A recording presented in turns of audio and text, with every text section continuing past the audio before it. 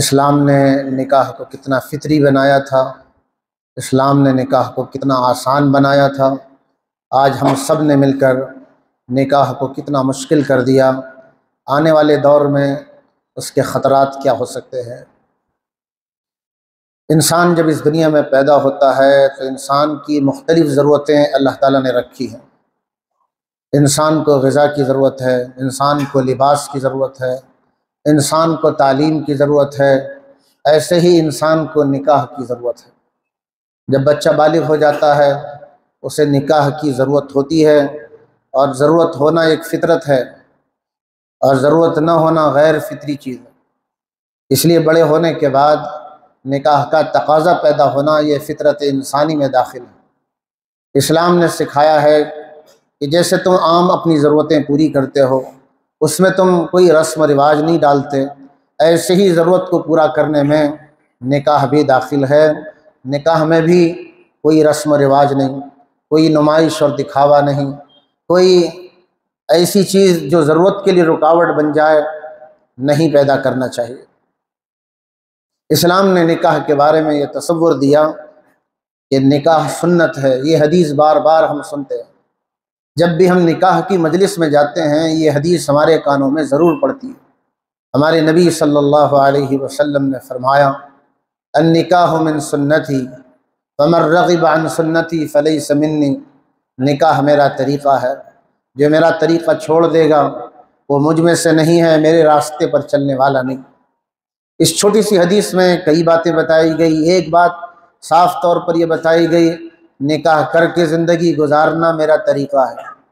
میں پیغمبر ہوں، میں آخری نبی ہوں، میں اللہ کا محبوب ہوں، لیکن میں بھی نکاح کے ساتھ زندگی گزار رہا ہوں۔ نکاح کے ساتھ زندگی گزارنا میرا طریقہ ہے۔ گویا کہ نکاح کی مجلس میں آنے والوں کو یہ پیغام دیا جاتا ہے کہ جو بغیر نکاح کے زندگی گزار رہے ہیں، یہ فطرت کے خلاف زندگی اللہ رسول کو ایسی زندگی پسند ہے، جو جس زندگی میں انسان کی بیوی ہو اور ایک عورت کے لیے شوہر۔ مرد کے لیے بیوی نہیں، عورت کے لیے شوہر نہیں ہے۔ ایسی زندگی کو اسلام نے پسند نہیں کیا۔ پہلے زمانے میں لوگ اس کو بزرگی سمجھتے تھے کہ ایک انسان بغیر نکاح کے زندگی گزارتا تھا۔ اس لیے آپ مذاہب میں دیکھ لیجیے۔ کتنے مذاہب ایسے ہیں جہاں شادی کرنا منع ہے، مگر ہمارے یہاں شادی امام بھی کر سکتا ہے، مقتدی بھی کر سکتا ہے۔ لیکن کچھ ایسے مذاہب ہیں، ان کے دھرم گرو یہ سمجھتے ہیں، اگر میں شادی کروں گا، رب تک نہیں پہنچ سکوں گا، اس خیال کو ہمارے نبی نے دنیا سے ختم کر دیا۔ اللہ سے قریب ہونے کا ذریعہ جیسے نماز ہے، روزہ ہے، صدقات و خیرات ہے، انسانوں کی خدمت ہے، اسی طرح نکاح کے ذریعے بھی ایک انسان اللہ سے قریب ہو سکتا ہے۔ جب ایک انسان نکاح کر کے گناہ سے بچے گا اور نیکی اس کے لیے آسان ہوگی تو وہ اللہ تعالیٰ کے قریب ہوگا۔ نکاح نہیں کرے گا، اپنی فطری ضرورت کو غلط طریقوں سے پورا کرے گا۔ ظاہر ہے وہ نکاح نہ کر کے اللہ تعالیٰ سے دور ہو جائے۔ تو گویا یہ یہ جو حدیث پڑھی جاتی ہے، النکاح من سنتی، صرف اس کا یہ مطلب نہیں، نکاح سنت ہے۔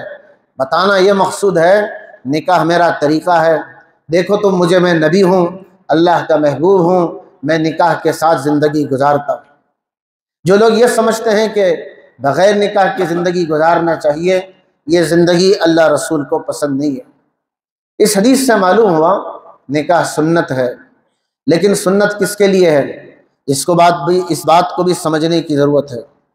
نکاح سنت اس آدمی کے لیے ہے جو آدمی اپنی بیوی کے مالی حقوق اور صنفی ذمہ داریوں کو ادا کر سکتا ہو۔